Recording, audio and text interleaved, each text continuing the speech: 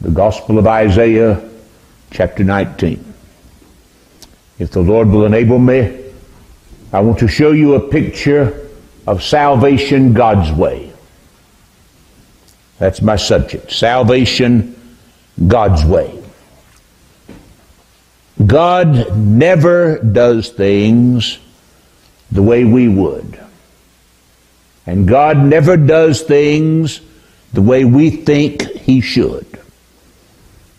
Now that's a mouthful itself. If we'd learn that, we'd learn a lot. God never does things the way we would. And God never does things the way we think He should. This is what He declares in Isaiah 55, verse 8.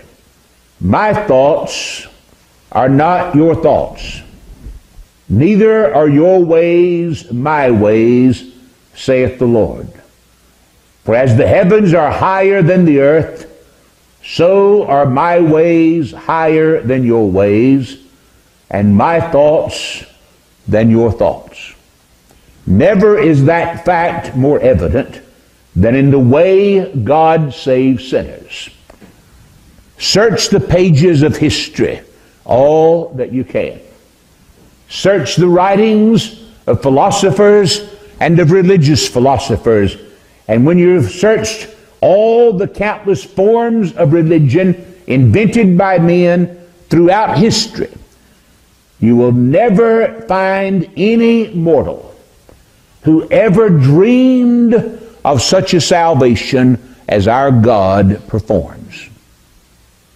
Never in all the pages of history did any mortal ever dream of a God who saves sinners the way our God saves sinners. First, the scriptures make it abundantly clear that he who is God saves sinners. The only people he saves are sinners. I know we teach our children erroneously, falsely, to their detriment, to their harm, perhaps to their damnation. Good boys go to heaven, bad boys go to hell. Nothing could be further from the truth. Nothing could be further from the truth. God only saves sinners. And until you find yourself a sinner, you will never know God's salvation. Christ Jesus came not to call the righteous, but sinners to repentance. God sent His Son into this world to seek and save that which was lost. Christ came here to save sinners. He has mercy on folks who have need of mercy. Nobody else. Nobody else. God not only saves sinners, but He saves whom He will by His own sovereign choice, taking salvation altogether out of the hand of man so that man makes no contribution. Man has no choice in the matter. Man makes no decision to determine who's saved. So, but wait a minute, preacher. A man must come to Christ, must believe on Christ. Yes, he must, but he can't and he won't. And he couldn't come to God of his own will, even if he wanted to, unless God wills to have him. God has mercy on whom he will have mercy. He has compassion on whom he will have compassion, and whom he will he hardeneth. And he doesn't give an answer to any man who asks the reason of him why. He never gives an answer to any man. I know preachers do. Preachers try their best to make God acceptable to men who refuse to bow to Him, and they offer all kinds of arguments and speculation and theory as to how this is so. God never once answers the cavils of rebels. He just declares who He is and demands that we bow. God saves sinners by free, unconditional grace without any contribution from the sinner. Find any religion like that in the world. Find me any like that except the gospel of God's grace. God saves sinners by free, unconditional grace without the sinner bringing anything to Him. without the sinner contributing anything, without the sinner performing any works. By grace are you saved through faith, and that not of yourselves. It is the gift of God, not of works, lest any man should boast. But that's not all. God saves sinners by the sacrifice of himself. By the sacrifice of himself. God stepped into humanity. God became a man. God came here as a man to save men because there's no other way to save men. God came into the world in the humanity of our flesh and lived in perfect obedience to God's holy law as a man for us. What a God. What a Savior. No one ever dreamed of such a thing except as is revealed in this book. The Lord Jesus Christ, God the Son, took on himself our nature, our humanity, and obeyed the law and the will of God in perfect righteousness on our behalf to bring in everlasting righteousness for sinners who had no righteousness. And then he took our sin and made it his very own and hanged upon the cursed tree under the just wrath of God's holy fury, justice, and law, and suffered all the terror of an angry God to the full satisfaction of justice for sinners. God saves sinners by giving himself, by sacrificing himself in the place of sinners. By the substitutionary death of Jesus Christ, God our Savior sets himself before us as no other God men have ever made. No other God men have ever imagined. No other God the mind of man has ever conceived. None of the works of men's hands that are called God are such a God as He is, a just God and a Savior. A just God and a Savior.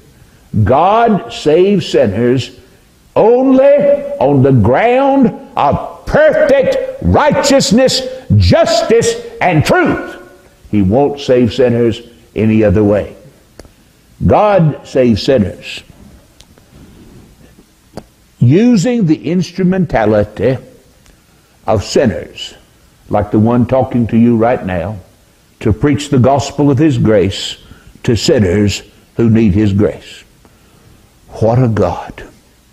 He, he has ordained by the foolishness of preaching to save them that believe. But, Pastor, what about man's faith? God saves sinners. I'm talking about God now. I'm not talking about the little peanut men call God. I'm not talking about the God you whittled out of a tree stump with your pocket knife. I'm talking about God. God saves sinners by faith. Faith that only God can give, that only God can create within a man. Faith which God works in you by His grace. Graciously reconciling sinners to Himself who gladly give themselves over to Jesus Christ the Lord in free reconciliation because God gives them faith. This is salvation worthy of God. This is God's kind of salvation. This is salvation God's way. God's salvation. Salvation as it's described in this book. Now, I've got to say something negative to make emphasis of the positive. You go to any church around here, any of them, I don't care which one you go to Baptist, Methodist, Catholic, Episcopal, whatever you go to, go to Pentecostal, go to any of them around here and listen to what they say about salvation. The salvation they talk about is not fit for God. For it's salvation that sinners in you. It's sinners in man. It's determined by man. It honors man. It magnifies man. It exalts man. It's not worthy of God. But God's salvation is worthy of God. It is altogether like God. And as we experience it, sinners saved by the grace of God find that God graciously proves himself exactly as he declares himself in Isaiah 55. My thoughts are not your thoughts, neither are my ways your ways, saith the Lord. When God saved me, nothing was the way I thought it would be. Nothing since that day has been the way I thought it would be. My thoughts are not your thoughts. Neither are your ways my ways, saith the Lord. For as the heavens are higher than the earth, so are my ways higher than your ways, and my thoughts than your thoughts. Now, this fact is beautifully illustrated in the 19th chapter of Isaiah's Gospel. Now, let me give you a tip about reading Scripture. When you read the Scriptures, it must be read literally as it is written if you're honest. We don't try to make Scripture say what Scripture doesn't say, or go to a passage of Scripture and just say, well, uh, this is what I think it means. That's, that's handling the Word of God deceitfully and irreverently. What God speaks in His Word is literally true. Now, this is not a book about science or history, but whatever it says about science and history is exactly according to what's written in this book. It's been proved over and over and over again. But as you read the Old Testament scriptures, if you would understand the scriptures, you must read the scriptures not just with a carnal eye, with carnal understanding, but with a spiritual eye, with spiritual understanding, as the scriptures are experienced by God's free grace. So that everything we read in the Old Testament scriptures, all the historic facts of Old Testament scriptures, are given by God to be an allegory of that which is spiritual. If we would understand Isaiah's message in this chapter, we must understand the spiritual meaning of what's written here. Egypt and Assyria were Israel's most ancient and most relentless and most cruel enemies. Throughout the history of the Old Testament, nobody despised Israel. Nobody more greatly abused Israel Nobody more thoroughly sought the destruction of Israel than Egypt and Assyria. As we read the burden of Egypt given here in Isaiah 19, it's obvious that God purposed deserved judgment for both Egypt and Assyria. He was determined to bring great misery upon those nations. But when we get to the end of this chapter, we see a very strange thing. Egypt, Assyria, and Israel are all standing together as one. Egypt and Assyria, one with Israel as the Israel of God. Because God has his elect in all the nations of the world. And Japheth shall possess the tents of Shem, just as Noah prophesied back in the book of Genesis. They all stand together, all enjoying the blessings of God's covenant grace in everlasting salvation. Obviously, then, God the Holy Ghost here speaks by his prophecy, or by his prophet, with prophetic words about this gospel day in which we live. Let me show you four things in this chapter as we read it together. Number one, we find first here the Spirit of God reminding us of a fact. Brother Lindsay read about it back in the office just a little bit ago in Romans 7. Salvation God's way. delivers his Israel out of Egypt. But he leaves Egypt in his Israel. He delivers his Israel out of Egypt, but he leaves Egypt in Israel. He delivers his elect out of the world, but he leaves the world in his elect. He leaves his people in this body of flesh to live in this body of flesh.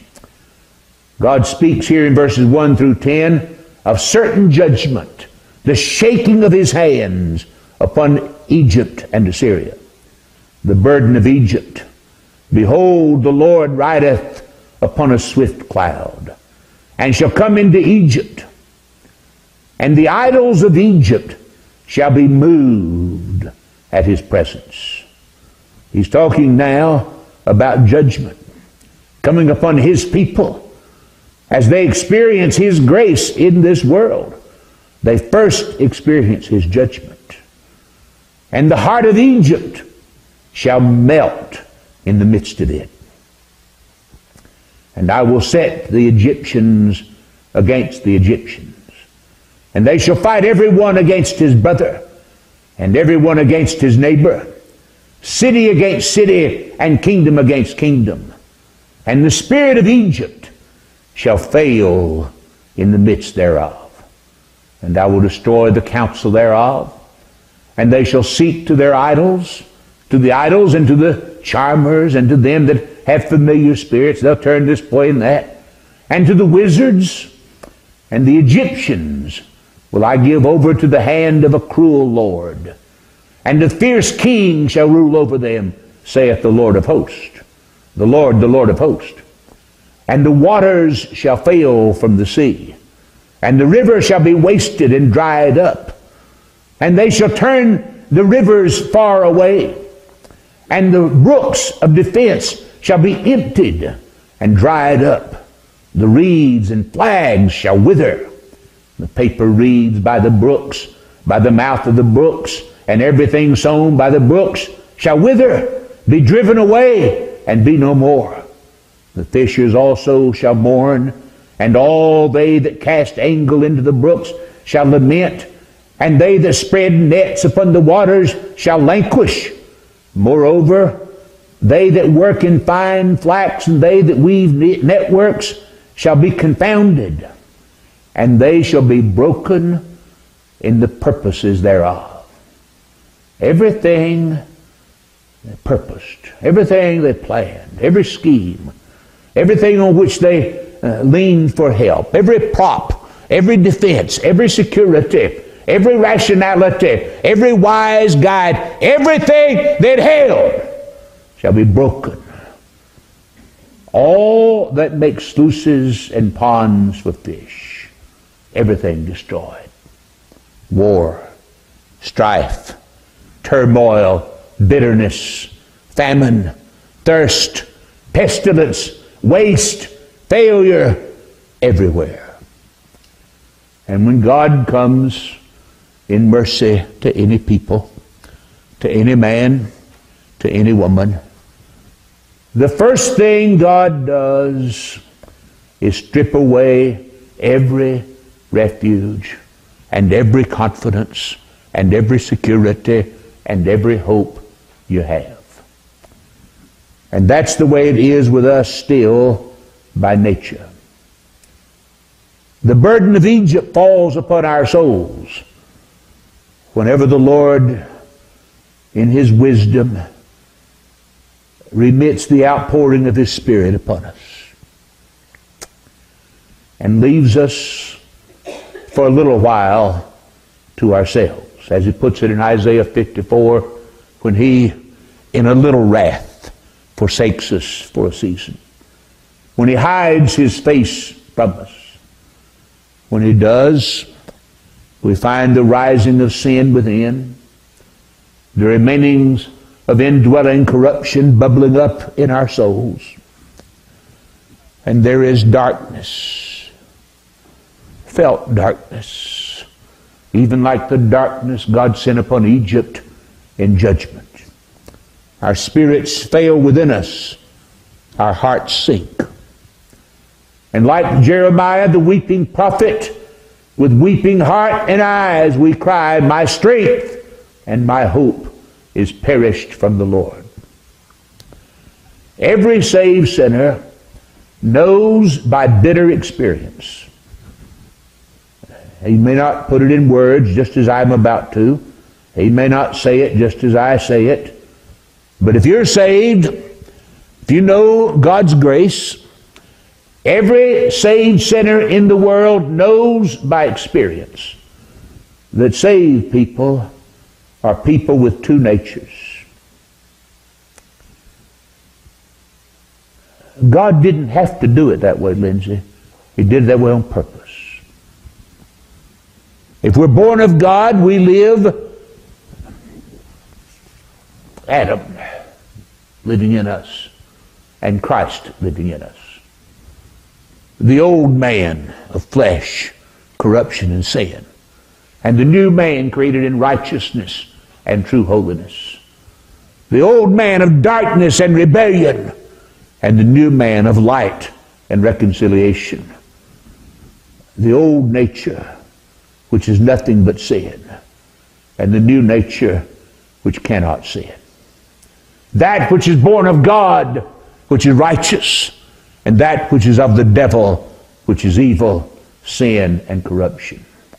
And God graciously makes us to know that by day by day experience to make us ever know that salvation's by grace, not by our works.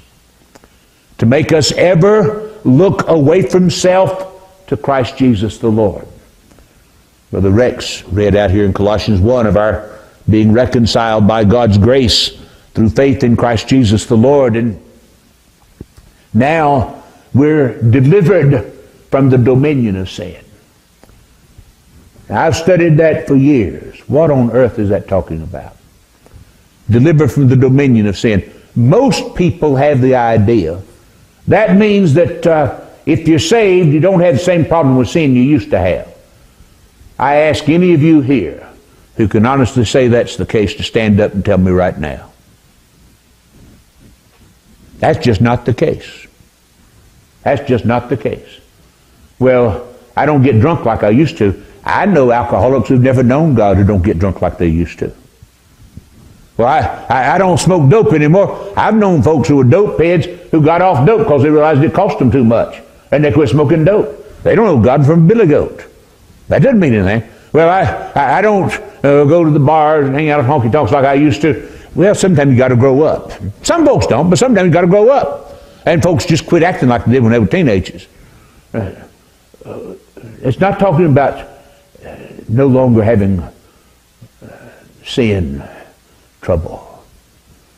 The fact is, Mark Medley's sin rages in you today like it never has before. We hide it.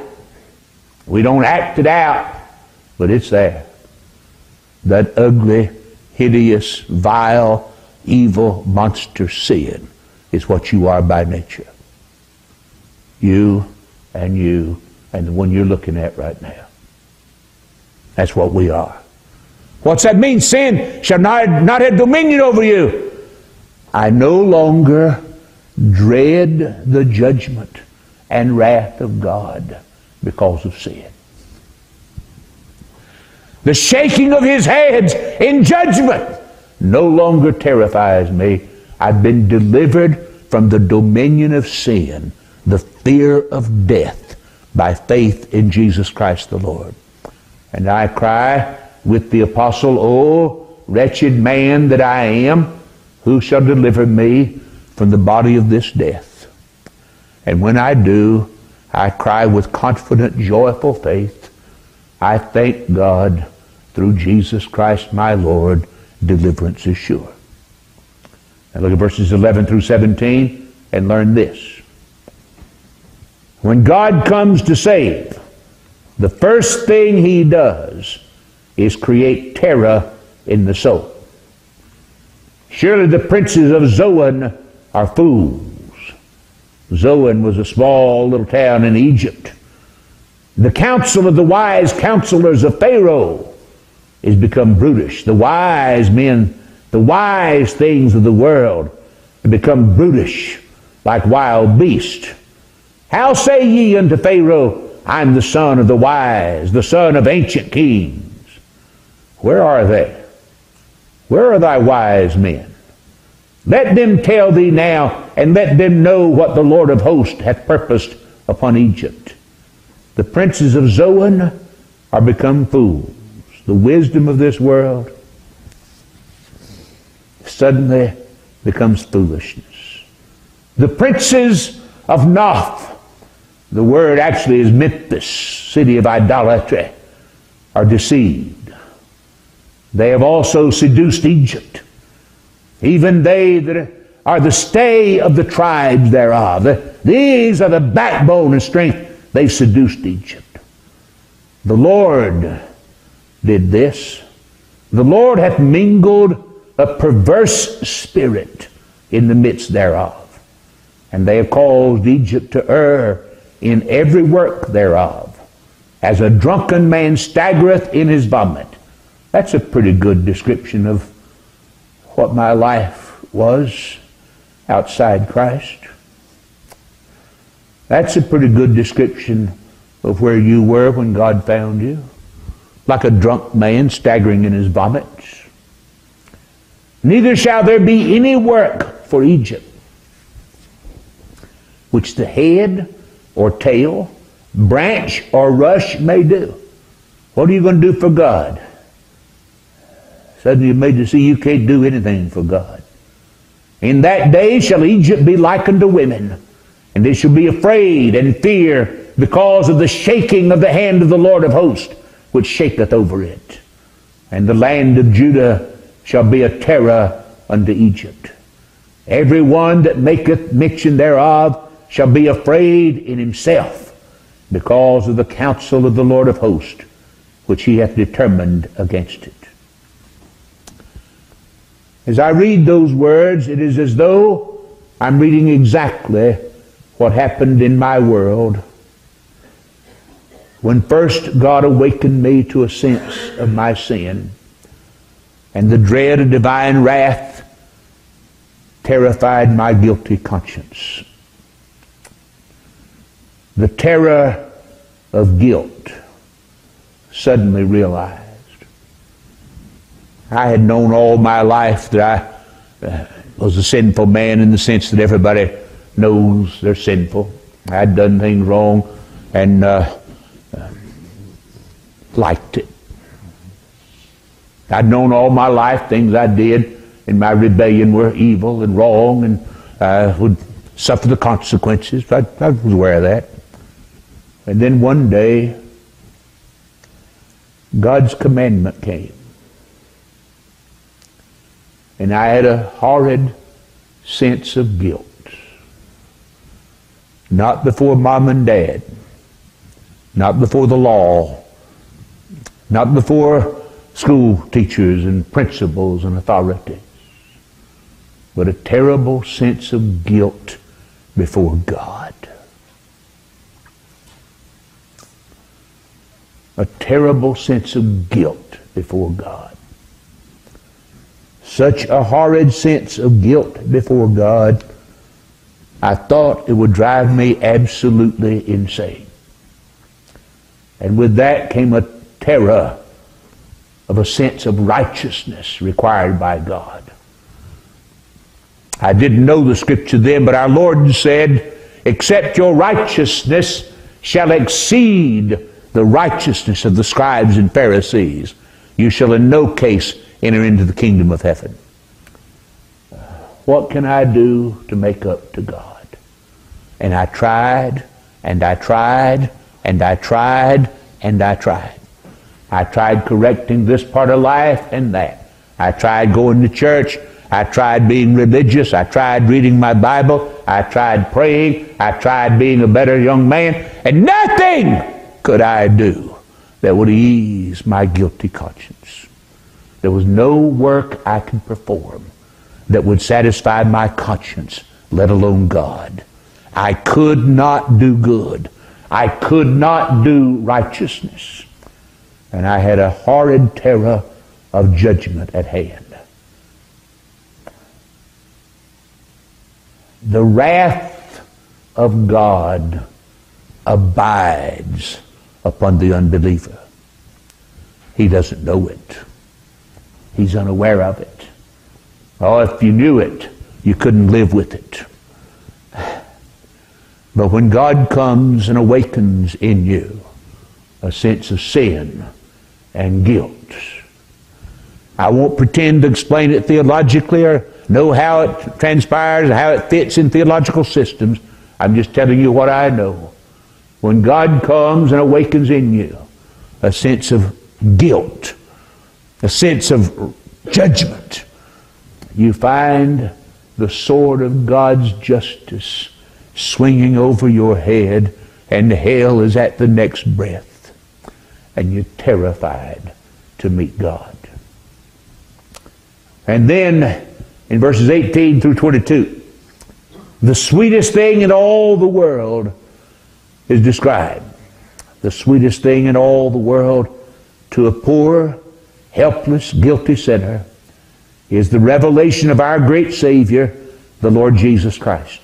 In that day, in that day when all hope is gone, in that day when you're guilty and justice is grabbing for you, hell is gaping open for you in that day, shall five cities of the, in the land of Egypt speak the language of Canaan and swear to the Lord of hosts. One shall be called the city of destruction. This, this place where destruction has been. This place marked for destruction suddenly speaks the language of Canaan. In that day shall there be an altar to the Lord in the midst of the land of Egypt, and a pillar at the border thereof to the Lord. And it shall be for a sign and for a witness unto the Lord of hosts in the land of Egypt. An altar, a pillar, a sign, a witness to God in the land of Egypt, in this dark, dark world. For they shall cry unto the Lord because of the oppressors. And as soon as they cry, he shall send them a Savior and a great one, and he shall deliver them.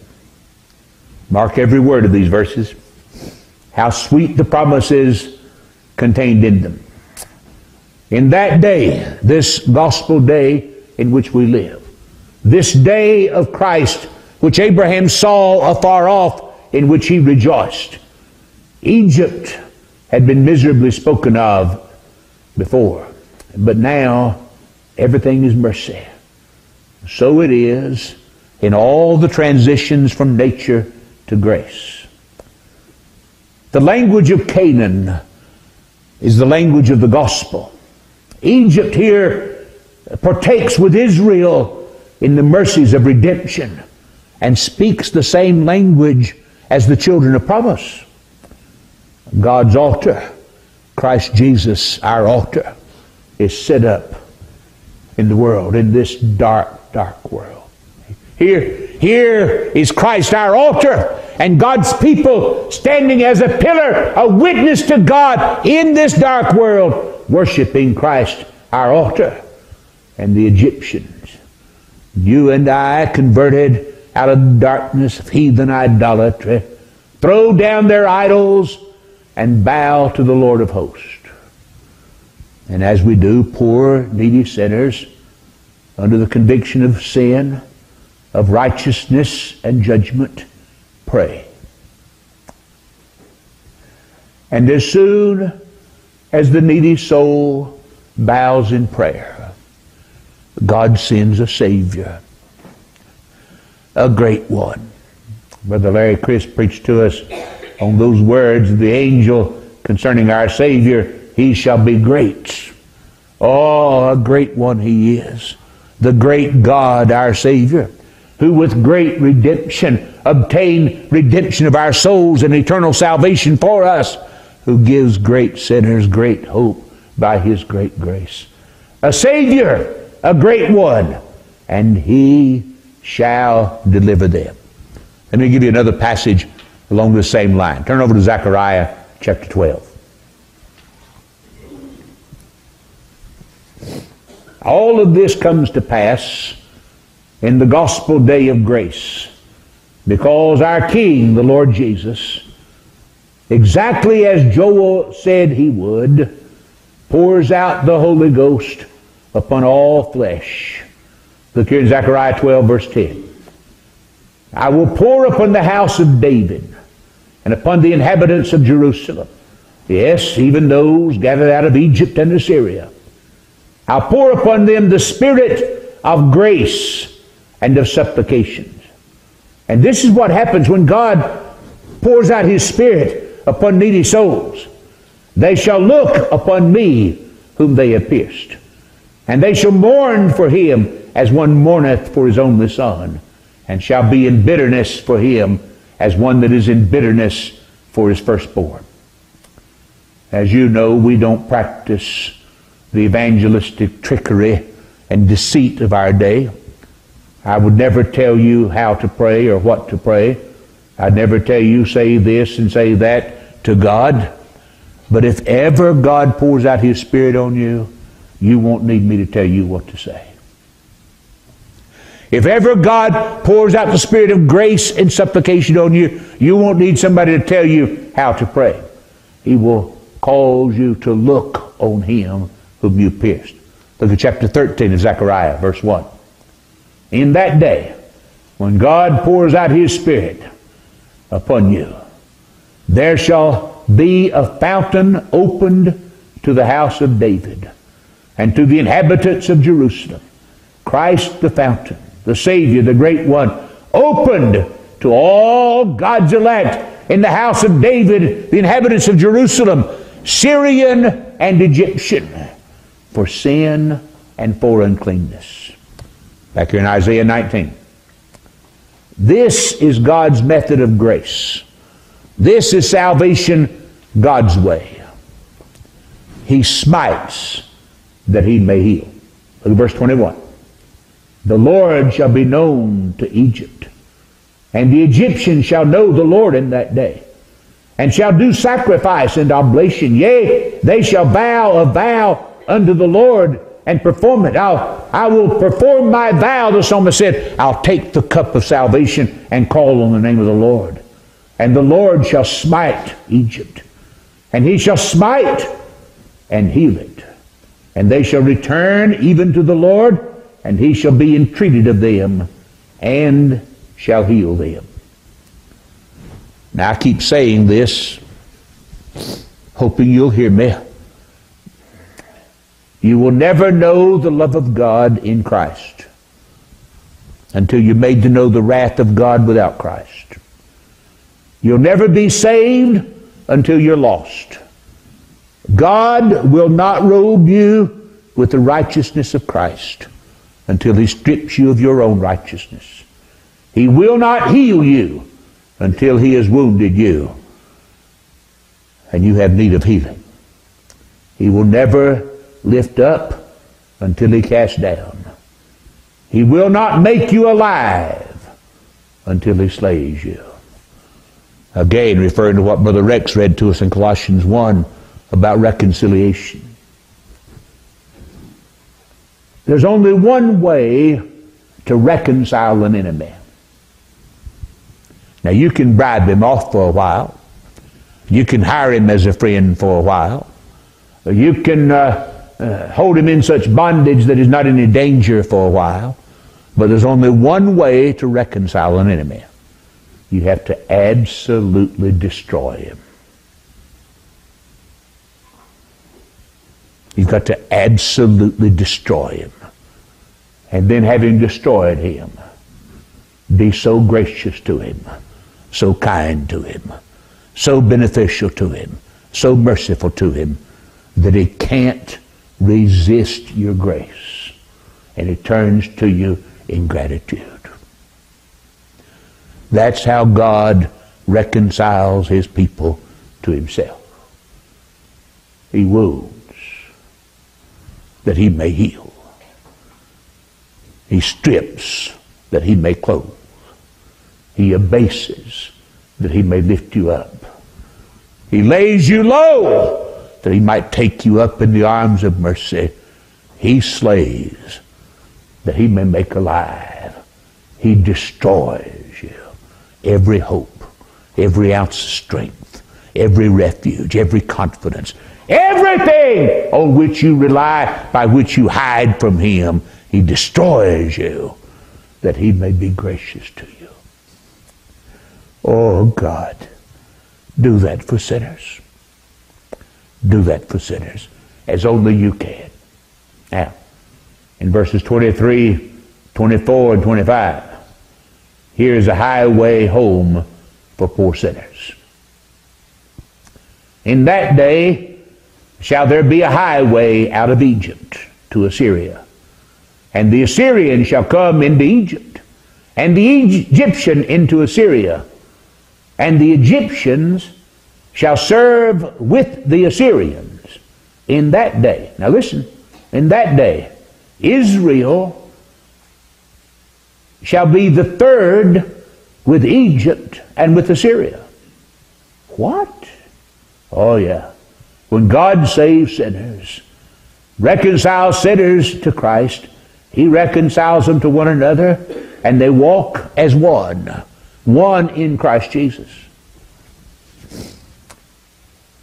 Israel shall be third with Egypt and with Assyria, even a blessing in the midst of the land. Oh, wondrous, wondrous grace. God takes such things as we are.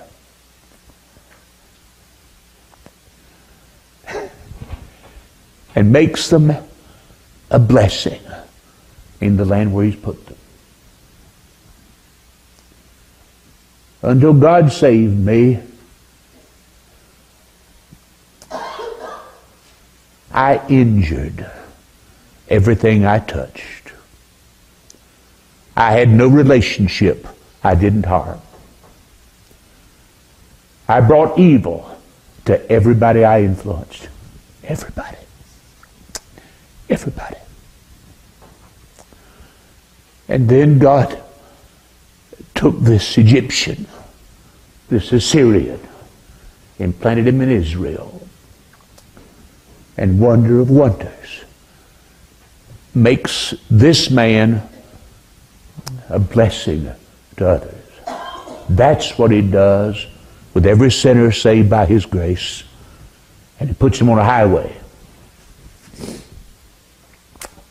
These whom the Lord of hosts shall bless, saying, Blessed be Egypt, my people, and Assyria, the work of my hands, and Israel, my inheritance.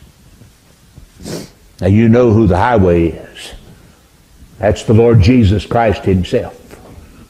And the Lord God declares that walking in this highway, Egypt, Assyria, and Israel walk together. They are God's blessed people. They are the work of His hands. They are God's chosen inheritance. And they, being saved by God's free grace, blessed of God with all covenant blessings in Christ Jesus, are made of God to be a blessing. I am more and more overwhelmed every day with that promise, that covenant promise of God made to Abraham. He said, I'll bless you, and I will make you a blessing. What grace! What grace. This is salvation God's way. This is salvation worthy of Him who is God. God, make it yours for Christ's sake. Amen.